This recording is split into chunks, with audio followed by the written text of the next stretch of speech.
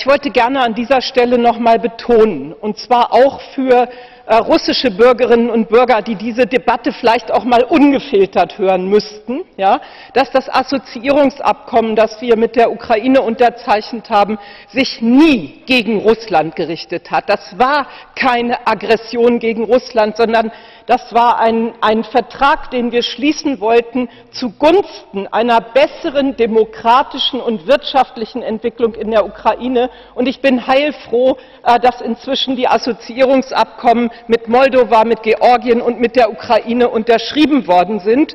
Und angesichts des Treffens letzter Woche äh, zwischen der Ukraine, äh, zwischen Russland und der EU in Brüssel würde ich noch mal sagen, man kann über Handel reden, aber ein Vetorecht für Russland darf die Europäische Union auf diese Abkommen nicht zulassen, weil damit würden wir die Ideen von demokratischer Entwicklung tatsächlich untergraben.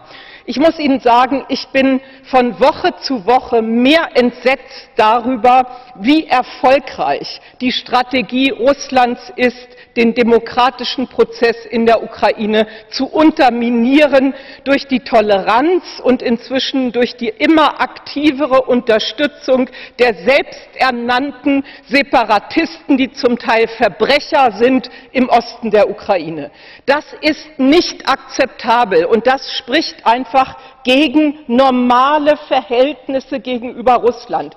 Wir müssen unsere Verhältnisse zu Russland nicht verändern. Russland verändert seine Beziehungen und seinen Umgang über den Umgang mit der Ukraine auch uns gegenüber. Und äh, ich will noch mal wieder über die Sanktionen sprechen. Wir haben schon so oft darüber gesprochen. Ja als die Sanktionen angefangen haben zu wirken. Ja, äh, die Kapitalflucht ist ein großes Problem. Der Rubel ist runtergegangen. Als man die Auswirkungen gespürt hat, da gab es einen, Parlamentsbeschluss in Russland und man hat zurückgenommen diese hundertprozentige Ansage, wir verteidigen alle Russen außerhalb Russlands, wenn sein es sein muss. Man hat diesen Beschluss unter dem Druck der ökonomischen Verhältnisse äh, zurückgenommen und dann hat aber die Europäische Union angefangen, über einzelne Mitgliedstaaten sich selber und der Idee der Sanktionen zu widersprechen. Ich finde das unerträglich, dass weiterhin Waffen exportiert werden, dass russische Soldaten in Frankreich ausgebildet werden. Das kann doch nicht sein, meine Damen und Herren. Und ich finde auch unerträglich, ich finde auch unerträglich, äh, dass jetzt äh, Österreich und unsere Ratspräsidentschaft in Italien plötzlich South Stream vorantreibt, weil das ist nicht ein Projekt für die Energieversorgungssicherheit. Das ist ein Projekt, das sich strategisch gegen die Ukraine richtet.